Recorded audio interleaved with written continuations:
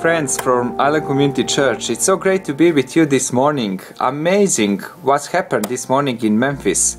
Opening new church, new church, new place for for worship in Memphis. It's so great. I'm so thankful to God for you all. We've been you've been such a big blessing for us as a family while we were there in Memphis and and I remember a time in February when when we we came first time in your church amazing.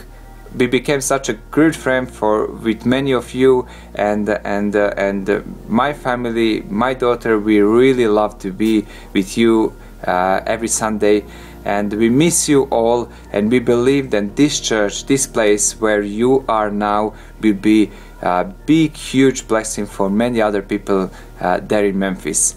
Uh, God bless you. May God lead you and and uh, we love you we miss you so much and and, and uh, yeah see you very soon. Okay bye.